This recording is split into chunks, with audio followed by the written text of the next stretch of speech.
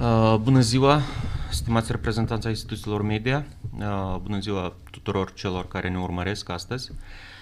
Uh, Vă mulțumim pentru interesul manifestat față de această de conferință de presă, la care v-am invitat în calitate de avocați al domnului Alexandru Stoianoglu. Mă numesc Victor Munteanu, avocat, și colegul meu Vasile Gafton, la fel avocat. Uh, care facem parte din echipa de avocați a domnului Alexandru Stoianoglu.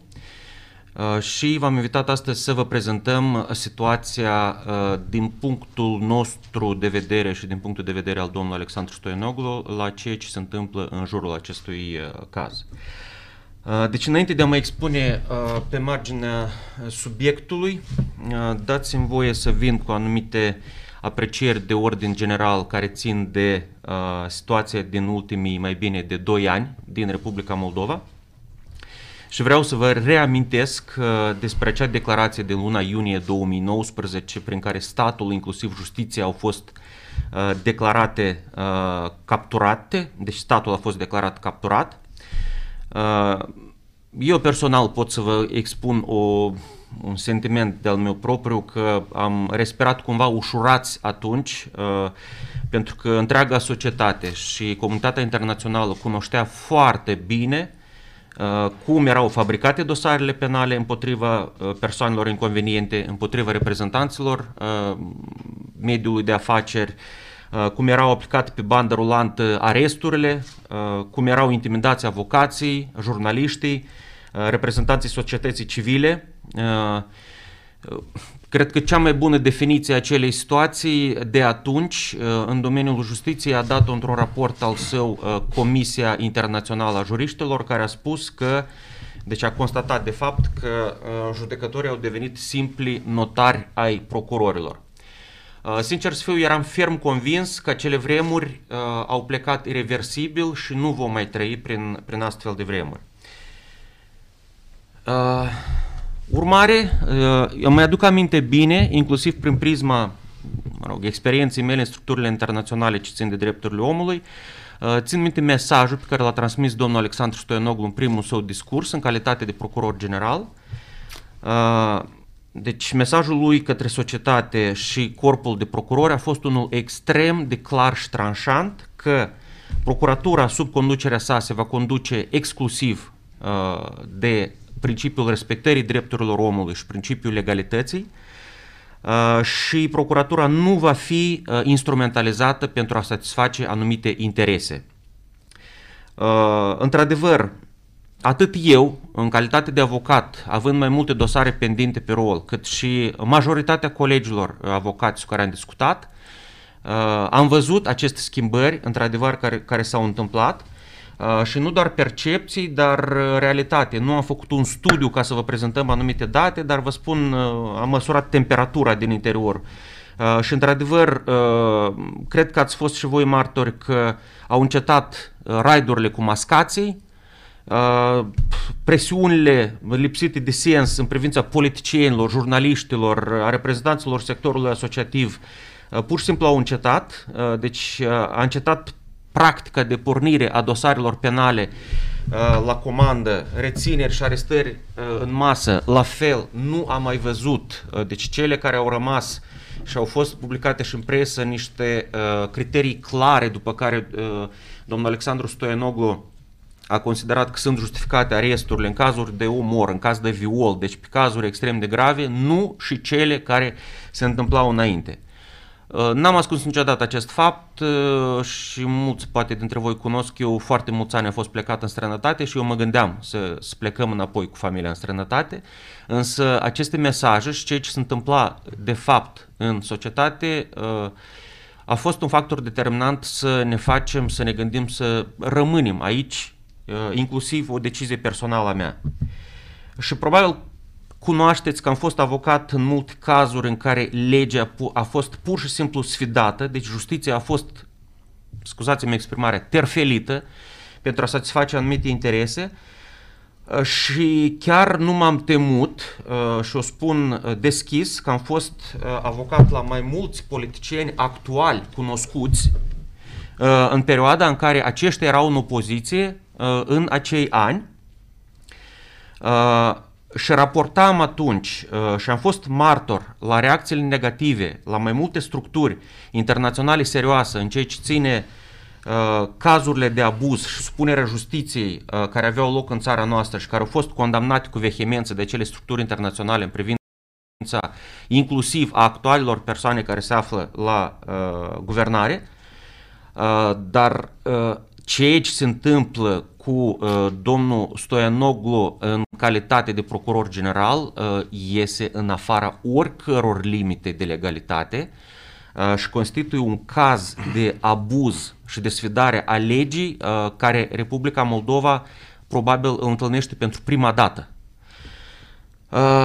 vreau să vă atrag atenția asupra acțiunilor absolut ilegale întreprinse în privința uh, domnului Stonoglu în calitate de procuror general. Deci eu aici am, nu am să disociez persoana de funcția instituțională a lui, pentru că noi nu putem să le disociem, deoarece a avut loc o preluare a funcției de procuror general prin uh, metode ilegale Uh, mă refer aici uh, modul cum a fost adoptată decizia de desemnare a procurorului pe caz de CSP, modul în care a fost pornit cauza penală în decurs de două ore. Eu cred că uh, cei din domeniul justiției și profesioniștii înțeleg foarte bine ce înseamnă, cum se pornește o cauză penală, deci se va expune colegul, colegul meu pe, pe, acest, pe acest subiect, dar la caz, la caz, ca să înțelegeți cronologic, am, practic am cronometrat uh, în decurs de două ore a avut loc acest fapt, uh, minus timpul pentru deplasare necesar uh, pentru a face acest lucru. Înaintarea unor învinduiri absolut absurde, bazate pe informații din presă, Uh, deci, de fapt, asta este o infracțiune. Uh, noi asistăm la, uh, la o infracțiune clară și întreaga societate trebuie să, fie, trebuie să înțeleagă că acesta a fost făcut exclusiv cu un singur scop. Asta este de a-l discredita și de a-l umili public pe Alexandru Stoianoglu în calitate de procuror general și de a prelua conducerea Procuraturii Generale. Uh, de fapt, scopul conferinței uh, este de a aduce la cunoștință informația despre uh, absurdul acuzațiilor aduse procurorul general, dar și pericolul major pe care îl implică acest precedent pentru societatea noastră. Nu voi intra foarte mult în detalii pentru că mulți s-ar putea să nu înțeleagă sau să nu dea interpretări eronate. Haideți să luăm pe puncte. Uh, deci primul, primul episod care este incriminat domnul Alexandru Stoianoglu, uh, acesta este acuzat că în anul 2011, fiind președintele Comisiei Parlamentare Juridice Numiri și Imunități, în virtutea obligațiilor sale funcționale, deci ca și președinte de comisie, dumnealui a semnat și a înaintat în plenul Parlamentului un proiect de lege cu propuneri uh, de modificare a legislației pe care procurorul de caz îl califică ca și temei de derulare a așa numitului dosar Landromat. Deci de la declararea independenței Republicii Moldova din anul 1990 au fost circa 2000 de deputați în Parlament. Uh, apropo, tatăl meu la fel a fost deputat în primul Parlament și niciodată niciun deputat nu a fost persecutat penal pentru votul său exprimat în plenul Parlamentului, deoarece votarea oricărei legi are loc în plenul Parlamentului cu majoritatea voturilor după dezbateri publice. În esență, uh, legea este o decizie politică și aceasta poate fi anulată fie de același Parlament care a adoptat-o, fie de către un alt, uh, o altă legislatură în Parlament, fie de către Curtea Constituțională la sesizarea uh, subiectului interesat. Deci deputatul în Parlament, prin definiție, nu poate fi atras la răspundere penală pentru votul său, fapt concret și clar stabilit în Constituție, Uh, și aceasta nu este o invenție moldovenească, uh, este o practică în toate țările, în toate țările lumii uh, și țări cu o democrație stabilă. Și vreau să atrag atenția în mod special ca la ceva deosebit de important. Deci se pretinde că proiectul cu modificări de lege care au fost atribuite lui Alexandru Stoianoglu în cadrul prezentei cauze penale Uh, de fapt au fost inițiate de Guvernul Republicii Moldova și au fost propuse de CCCECEC, deci mm, nici nu mai țin minte cum se descifrează, și votate de către deputații în Parlament.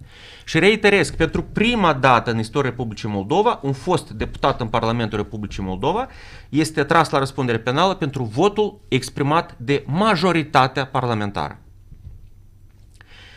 Al doilea subiect.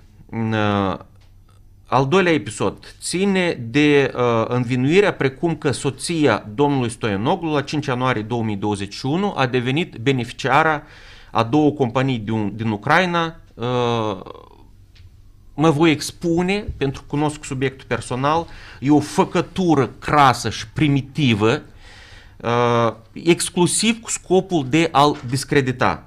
De ce mă refer la acest fapt și vin factologic? Uh, deci procuratura, uh, prin intermediul uh, Procuraturii pentru combaterea criminalității organizate și cauze speciale, PCCOX, pe acest fapt a desfășurat și desfășoară în continuare o investigație și a stabilit cu certitudine că nici Alexandru Stoianoglu și nici soția acestuia nu au vreo atribuție la societățile menționate. Deci aceste falsuri au fost făcute intenționat cu singurul scop uh, de a pune presiune asupra domnului Stoianoglu pentru a, ca acesta să demisioneze. Și vă dau doar câteva exemple din acest dosar pentru ca tuturor să le fie clar uh, că e o falsificare nu știu, făcută într-un mod absolut, absolut primitiv.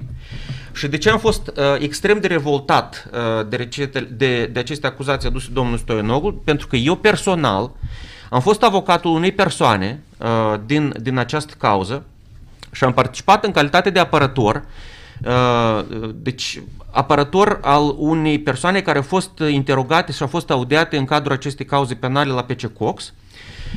Uh, și această persoană, uh, rezultatul achetei nu doar că s-a confirmat, uh, s-au confirmat cele relatate de persoană, deci acea persoană în Ucraina nu a fost din anul 2013. Modificările în, documentele statutare prin care a fost înscrisă ca beneficiar Uh, s-au produs în lipsa proprietarilor și acționarilor acestor companii, lucru care este imposibil conform legislației. Țin să menționez și inclusiv domnul Stoianoglu s-a clarificat că există nu doar în Republica Moldova o anchetă pe acele falsificări, dar există o anchetă și în Ucraina pe faptul falsificării și înscrierii nume, numelui, fără acordul uh, persoanei în baza unor documente falsificate. Uh, deci, mai mult decât atât, uh, abs- nu că absurdul, nici mm, chiar absurdul, am să spun, acestei situații a fost făcut, uh, uh, ca să înțelegeți, deci s-a constatat că modificările au fost operate în baza buletinului de, buletinului de identitate a persoanei pe care eu o reprezint, care a expirat încă în anul 2014. Deci era absolut imposibil să fie făcut cu acele, uh, cu acele documente. Și mai mult decât atât, în cadrul urmării penale au fost confirmate declarațiile proprietarului companiei că nu a fost împuternicită nicio persoană pentru a efectua careva modificări în documentele companiei. Eu cred că nu trebuie să comentez nimic la acest subiect. Uh, o situație similară a fost și cu documentele de identitate ale soției procurorului general. Deci la, dat, la data de 5 ianuarie 2021, data efectuării pretinsei uh, tranzacții, Pașaportul dumneiei era neutilizabil pentru deplasări în străinătate, cu precizarea că orice pașaport și țările nu permit intrarea pe teritoriul său a deținătorilor pașaportelor uh, care, care a mai rămas șase luni uh, de valabilitate, ceea ce era exact în cazul dumneiei. Uh, nou pașaport, dumneiei a fost eliberat data de 4 februarie 2021, Ancheta penală pe falsificările date au stabilit cu certitudine că atât proprietarii companiilor respective cât și soția domnului Stoianoglu la data pretinselor modificări nu s-au aflat în Ucraina și nu au acordat împuterniciri altor persoane. Uh, deci, mai mult decât atât, s-a stabilit că acele companii din anul 2013 nu au avut nicio activitate și să vă reamintesc că încă în anul 2019 Republica Moldova a naționalizat acele pachete de acțiuni uh, pe care cândva le-au deținut aceste companii în legătură cu uh, una din băncile comerciale din Republica Moldova. Am să cer scuze.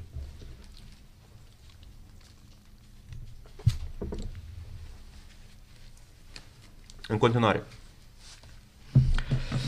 Uh, una din învinuirile aduse procurorului general privind deciziile uh, procurorilor pe un anumit caz, indiferent de numele persoanei care este vizată în acel caz, uh, nu fac decât să pună în evidență, uh, am să o spun așa cum este, incompetența absolută și incompatibilitatea profesională a procurorului pe cazul dat, care acuză procurorul general că deciziile adoptate personal de procurorul pe caz și noi deja în cadrul examinării aplicării mandatului de arest am clarificat toate aceste circunstanțe dovedite probatoriu, cum și cine în lipsa oricăror, oricăror presiuni a adoptat acea decizie urmare a examinării probelor uh, și uh, nu poate exista în mod absolut nicio instrucțiune din partea lui Alexandru Stoianoglu dată oricăruia dintre subalternii săi, deci a procurorilor mă, mă refer, în privința modului de a adopta decizii în privința oricărui caz. Legea stabilește că procurorii sunt independenți procesual și asupra deciziilor lor nu este posibil de exercitat influență, iar procurorul la rang superior, în speță șeful procuraturii respective, poate emite singurele acte procesuale de dispoziție, ordonanțe. Ori noi, până în prezent, nu am văzut niciun astfel document procesual. Ultimul capăt de acuzare, de fapt, m-a surprins și pe mine ca și profesionist, deci sunt relații de muncă care nu au absolut nicio legătură cu careva uh, fapte criminale și ca să vă exemplific, să modelez situația, uh, deci la concedierea unui angajat a fost calculată inițial, eronat uh, de, de resursele umane, a fost calculată eronat suma indemnizațiilor și compensațiilor pentru concedii nefolosite, Uh, care după ce a fost identificat acest fapt, au fost uh, sumele care au fost achitate, au fost restituite pe deplin. Deci nu a existat niciun prejudiciu.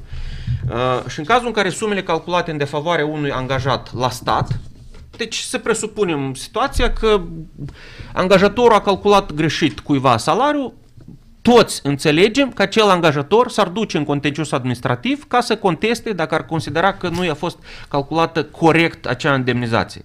Și acesta nici într-un caz nu ar constitui obiectul unei cauze penale. Noi ne referim, de fapt, dacă am vorbit despre un stat de drept. În acest, în prezentul caz, cum am și menționat, fără prejudiciu, fără parte vătămat, fără victimă, cu restituirea sumelor din cauza unei uh, calculări care norm, în mod normal ar trebui să fie obiectul examinării în contextul administrativ, noi ne-am trezit cu o cauză penală și cu o acuzație absolut absurdă în privința domnului Alexandru Stoianoglu. Și uh, nu în ultimul rând uh, vreau să vă atrag atenția uh, asupra declarațiilor uh, pretinsului denunțător Lean Carp. Denunțul acesta în privința lui Alexandru Stoianoglu are la bază doar articole de presă. Noi acest fapt l-am demonstrat și l-am evidențiat în fața judecătorului de instrucție când a adoptat decizia ilegală din punctul nostru de vedere de a-l plasa în arest la domiciliu și am atenționat asupra faptului că toate probele anexate pentru aplicarea mandatului de arest domnului Stoianoglu sunt luate din presă. Nu zic, presa este foarte importantă, dar nu așa se face o cauză penală. Mai ales că erau uh, articole din surse care, în fine, fiecare poate să le aprecieze cum, cum dorește. Uh, de fapt, sâmbătă am văzut personal în uh, presă că domnul Carp a recunoscut acest fapt uh, și uh, nu mai puțin este relevant faptul că uh, urmărirea penală a fost dispusă de procuror într-un termen record de circa două ore, exclusiv în baza acestor informații. Uh, în final, vreau să vă zic că aceste și alte circumstanțe scot în evidență caracterul tendențios cu scopul de denigrare cu orice preț a procurorului general, de comiterea unor pretinse infracțiuni inventate pentru a îndreptăți necesitatea uh, pornirii urmăririi penale absolut abuzive, și uh, ceea ce am menționat de înlăturare uh, a dumnealui de la conducerea Procuratorii Generale, uh, cumva spre finalul uh, intervenției mele vreau să reiterez că totuși cred că Republica Moldova, odată ce s-a angajat să respecte valorile democratice ale instituțiilor europene la care a aderat, uh, ultimele acțiuni cu un caracter vădit Uh, am să îndrăznesc să o numesc uh, de dezmăț legal, discreditează în totalitate angajamentele asumate și pun în lumină negative pretinsele declarații de aderare la principiile de respectare a statului de drept, a drepturilor, a drepturilor omului și democrației.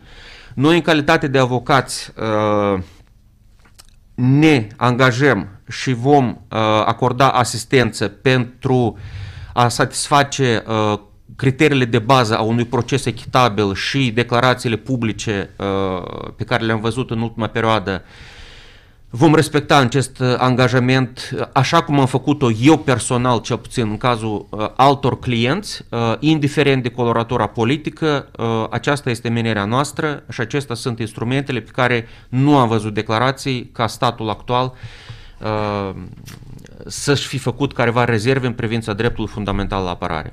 Uh, vă vom acorda, după intervenția colegului meu, Vasile Gafton, uh, posibilitate de a pune întrebări pentru a clarifica și pentru Uh, scuzați-ne poate un pic limbajul tehnic, juridic uneori, de a traduce aceste mesaje pe înțelesul tuturor. Vă mulțumesc. Deci eu să-l completez pe scurt colegul meu. Uh, au fost pornite patru cauze penale care au fost uh, conexate într-o singură procedură. Cel mai important, că în ziua când a fost emisă hotărârea Consiliului Superior a Procurorilor de a desemna acel procuror care va examina, în aceeași zi, deci clientul nostru, Alexandru Stoianoglu, a contestat această hotărâre în procedura contenciosul administrativ la Curtea de Apel Chișinău. Deci, prin efectul legii, odată cu, contesta, cu depunerea cererii chemare în judecată și solicitarea suspendării, acea hotărâre a Consiliului Superior Procuraturii a fost suspendată și toate acțiunile care le-au efectuat procurorul de caz sunt ilegale. Pornirea cauzelor penale, ă, reținerea și alte acțiuni de urmărire penală. Deci noi am depus o plângere în acest sens. Astăzi, după această conferință, voi merge în mod repetat să mai depun o cerere repetată, pentru că clientul nostru se deține ilegal în arest la domiciliu și ilegal a fost pornită urmărire penală ilegal a fost pus sub urmărire penală. Sper că totuși că conduce nou procuror, nu nou procuror, dar procuror general interimar, actuala conducere a Procuraturii Generale, procurorul de caz, vor citi atent și ce plângerea noastră depusă în mod repetat astăzi și vor înceta această cauză penală care este ilegală.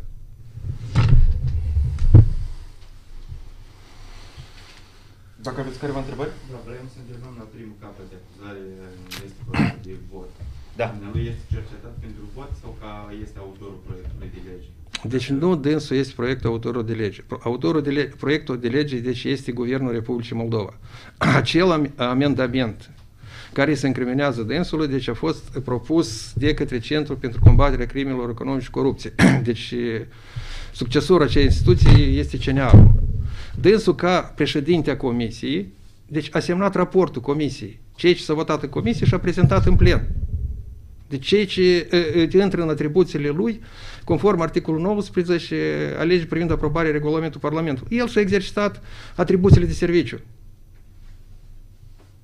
Da, și în cazul în care Curtea de Apel decide de dreptate domnului Stoianoglu, el poate să revină înapoi la procuratură sau ceva? Deci dânsul nu poate să revină la procuratură. Deci la dâns poate să revină la procuratură când va să fi încetat cauza penală. Eu v-am spus că... Deci cauza penală... Pârghie legală este, v-am spus că cauza penală este cauzele penale. Deci este ilegal. Că odată cu ce depus cere chemare în judecată prin care a contestat uh, hotărârea CSP, acea hotărâre a fost suspendată. El nu mai produce efecte juridice. Deci procurorul de caz nu trebuia nici să pornească dosarul penal, nici să-l rețină. Unica, unica soluție pe care o poate adopta, deci conform legii, să fie anulate acele ordonanțe care sunt ilegale, să-l scoate sub urmărire penală și claseze dosarul penal, pentru că sunt din stat, de la pornire și până în prezent sunt ilegalități. Dacă se întâmplă așa, procurorul Fortune riscă să fie cercetat pentru... Deci cu procurorul Furtună, deci nu ne expunem asta. Noi apărăm uh, drepturile lui Alexandru Stoianoglu.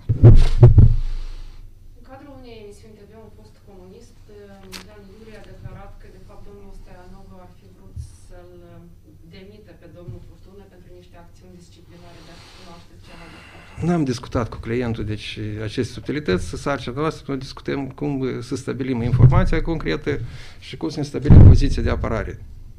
Deci,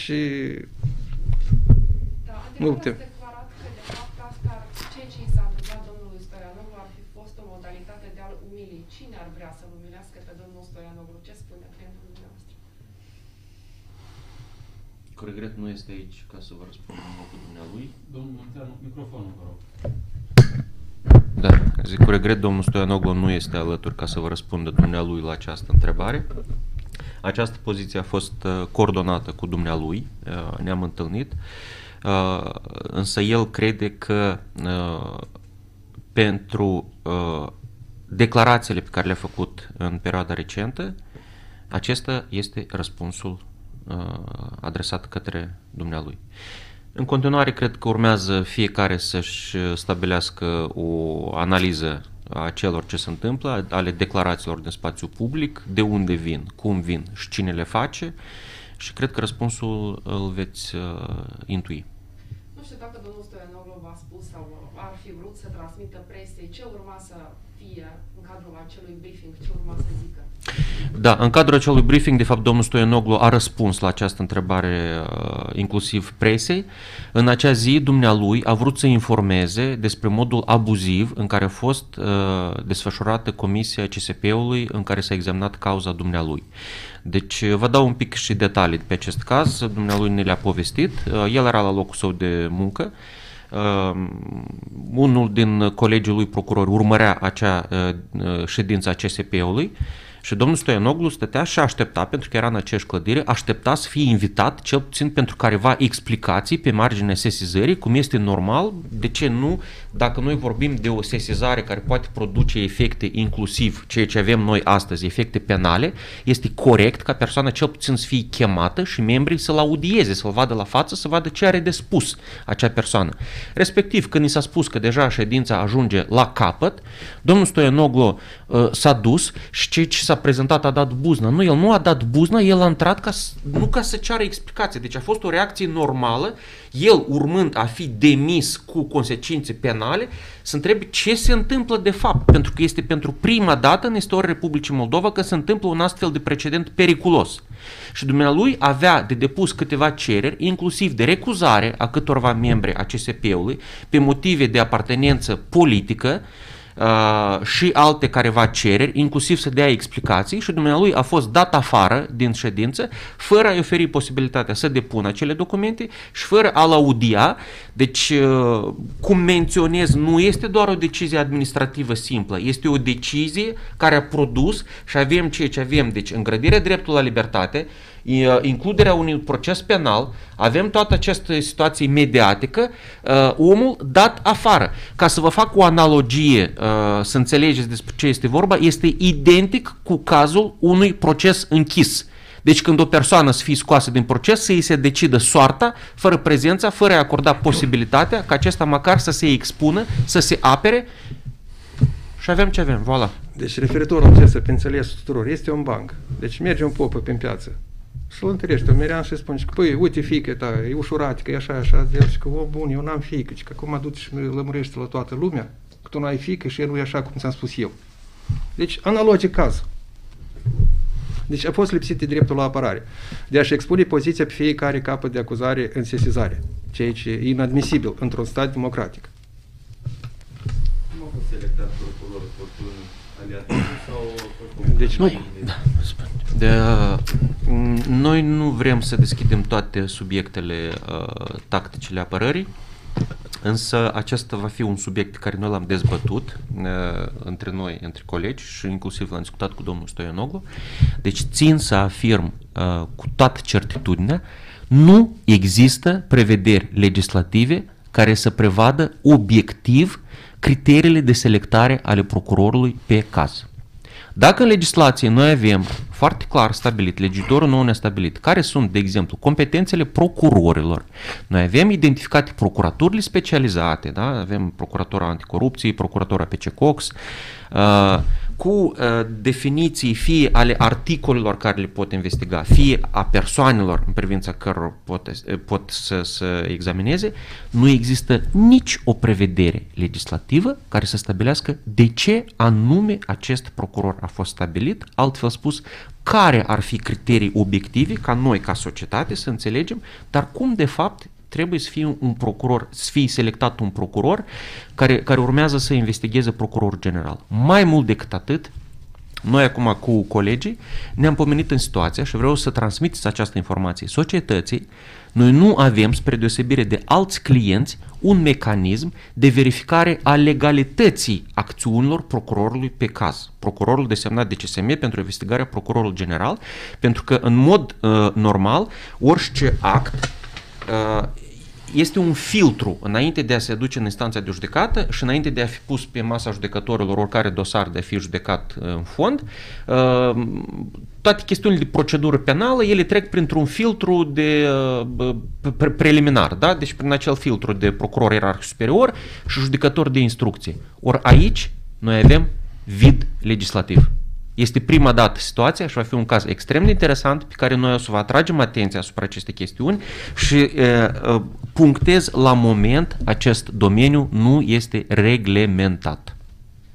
Modificările, cer scuze, modificările în lege au fost făcute deci cu o viteză cosmică, deci ne, ne luându-se în considerație deci, acele momente pe care le, le-a relatat colegul meu. Deci lăsând acel gol vid legislativ, care practic legea care a fost adoptată recent, modificări la lege la procuratură, fiind impracticabilă. Cred că domnul Stoianoglu că totul a fost de fapt înscenat cu mai mult timp, s-a pregătit cu mai mult timp în urmă, în condițiile în care lucrurile au evoluat destul de rapid în cazul său. Noi putem să deducem logic acest fapt, pentru că ședința CSP-ului la orele 15, cât practic a fost dintre adoptarea hotărârii și prezentarea procurorului la domnul Stelugu în birou undeva jur de două ore.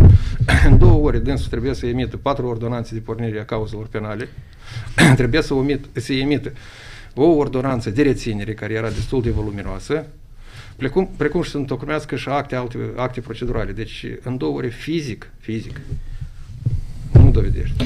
Adică putem să facem un experiment, să punem cronometru, să rugăm procuror să facă acel, să le dactilografieze fără ca să facă o analiză a materialelor, să gândească acel text și să-l dactilografieze. Eu cred că... De, deci, nu, pot să ducem logic, pot să duc eu logic că a fost pregătit din timp. Din experiența mea anterioară, pe alte cauze, deci în anii 2017-2018, nu a fost niciun caz, nici într-un caz absolut. Când voi cunoașteți, v-am informat parcursul timpului de acele acțiuni, de intimidarea mea, a familiei, a toate cei ce am avut eu, uh, în nici într-un caz uh, de unde au pornit aceste chestiuni, cine le-a efectuat, nu au rămas fără răspuns. Deci ele toate, la un moment dat, ies la suprafață. Aici, la fel, au ieșit la suprafață. Din informațiile pe care noi le posedăm, este că săptămâna trecută la CSP nu le ajungeau două voturi, în momentul în care au avut aceste două voturi, înainte. Are vreo legătură reținerea domnului Popov cu reținerea domnului Stoianoglu? Este, nu știu, părerea lui personală. Nu mă dau în presupunere. Nu. Nu, nu cunosc. E greu să ne expunem pentru că nu avem acces la materialele cauzei. Nu. A, cred că mai corect cu avocații dumneavoastră să vorbiți. Dacă, dacă sunt, pe de o parte, pe de altă parte, dacă cauzele cumva sunt interconectate, nu este corect și etic noi să ne expunem pe, pe aceste cauze ca să nu prejudicem ancheta și să nu, nu, nu ne expunem pe acest fapt. Și ultima întrebare, iată, domnul Popov a declarat ieri presiei că de fapt ar fi fost amenințat cu câteva luni înainte că va avea un dosar penal. Nu știu dacă s-a întâmplat în acest sens. N-am discutat. N-am discutat, nu. Nu ne focusăm exclusiv pe cazul dumneavoastră. Și vă spunem sincer, deci noi zilele astea lucrăm, deci nu avem când să ne uităm ce scrie în presă. Ziariștii ne sună și întreabă ce puteți comenta, ce poți comentez, că noi avem altă activitate decât să urmărim. Ați spus că probii sunt numai din presă ceea ce au prezentat procurorii, dar cunoaștem că s-au făcut percheziții atât la locul de muncă a domnului și domiciliu. Voi spune eu. Deci, Acolo au fost ridicate ceva deci a fost, de la, uh, din biroul uh, domnului Steanoglu a fost ridicat uh, deci computerul de serviciu și telefonul. Și două stickere. Mai mult nicio probă. Și de la domiciliu, iarăși computerul, nu să, cum am discutat cu clientul meu, computerul îl foloseau membrii familiei, în computerul de serviciu el nu l-a folosit niciodată, l-a folosit pentru niște ședințe online. Altceva acolo nu-i. Respectiv, toate care s-au făcut nu au dat N-au nimic. În afară de capturile de ecran pe care le-a prezentat domnul Carp, la sesizarea sa, procurorul nu are nimic. Deci invers, noi am demonstrat pe fiecare capăt de acuzare mape destul de voluminoase care răstoarnă și desfințează toate acuzațiile. Uh, un moment important uh, care să nu-l omitem este că uh, decizia uh, de plasare în arest la domiciliu a domnului Alexandru Stoianoglu, după cum ați fost și chiar voi reprezentanții mass media, a fost pronunțată după expirarea termenului de reținere a domnului Stoianoglu. Deci termenul de reținere a domnului Stoianoglu a expirat la orele 17 și 41 de minute și decizia a fost adoptată la orele 18 și 7 6, și... 7. Da, deci după orele 18 a fost pronunțată acea decizie. Uh, totuși, ca să fiu corect, uh, dumnealui nu a fost limitat în deplasări din momentul în care a expirat acest termen, dar legalitatea acestei decizii uh, ridică semne de întrebare. Un al doilea aspect pe care țin să-l reiterez și care a scandalizat societatea, dacă ați văzut, deci acea procedură de inițiere a aplicării mandatului preventiv sub formă de arest. Curtea, deși judecătorii Chișinău se Ciocan a fost sesizată în privința cu totul altei persoane, deci altă persoană a fost solicitată, nu domnul Stoianoglu. Însă instanța de judecată nici de cum nu a comentat acest fapt. Uh, și nu în ultimul rând vrem să menționăm că ieri a fost depus recurs împotriva acestei, uh, acestei încheieri care urmează să fie examinat de Curtea de Apel Chișinău. Din start vă informăm că nu, eu ce puțin nu am informație și nici domnul, domnul Gafton nu a fost anunțat când va fi examinat recursul. Cu siguranță vă vom, vă vom informa pentru că este o decizie extrem de importantă și legal, ilegalitățile care se comit pe acest caz, cum am spus-o în uh, pledoaria mea uh, la instanța de instrucție, uh, eu cred că mesajul care vrea să fie transmis întregii societăți este că dacă domnului procuror general îi se poate întâmpla așa ceva, atunci oricui alt, altcuiva nici nici să nu-și facă iluzii că nu îi se poate întâmpla chestia respectivă. Deci mesajul este clar, de frică, intimidare și de, de supunere din nou a justiției uh, în anumite interese. Da, dar motivul de recuzare a procurorului de caz atunci la Ciocan a fost careva conflict de interes între Stoianoglu și Fortună sau alt motiv a fost? Motivul? Deci imparțialitatea dânsului toți cunoașteți că deci noi am cerut uh, întrevedere între patru ochi cu clientul nostru. Judecătorul de instrucție ne-a permis întrevedere între patru ochi uh, fără prezența mascaților. Însă procurorul de caz s-a opus. A apărut un conflict care a fost mediatizat în presă, deci eu am ieșit în fața presă și am adus la cunoștință că, că deci, și eu și colegii mei suntem limitați de ne exercita atribuțiile noastre serviciu. Precum și alte suspiciuni rezonabile că deci dânsul este imparțial și nu este obiectiv. Este parțial. Nu este, este imparțial. Nu este imparțial. Da, nu este imparțial. Într-adevăr, așa a fost. Uh, țin să vă confirm și eu, adică deci, că credibilitatea celor spuse, afirmate și cred că s-a și văzut. Uh, într-adevăr, noi am avut un conflict deschis cu domnul procuror, pentru că, uh, ca să înțelegeți justificarea acestui fapt, era că eu în acea dimineață am întreprins acțiuni pe care nu le-am coordonat din timp cu clientul Mă refer la, cea, la depunerea acelei uh, cereri de strămutare la Curtea Supremă de Justiție, care de facto semnifică uh, înaintarea recuz, unei recuzări la tot complet, la toți, toți judecătorii de la Ciocana. Și în momentul în care a venit întrebarea, deci a fost pusă, s-a ridicat întrebarea dacă încredințăm completului instanței de judecată, era cumva logic întâi să-l informăm pe domnul Stoianoglu despre faptul că am depus acea cerere ca înainte dumnealui să-și stabilească poziția referitor la recuzare. Pentru aceasta, asta e o garanție fundamentală într-un proces ca și clientul să poată să interacționeze între patru ochi fără urechile reprezentanților statului în, în privat să discute cu avocații.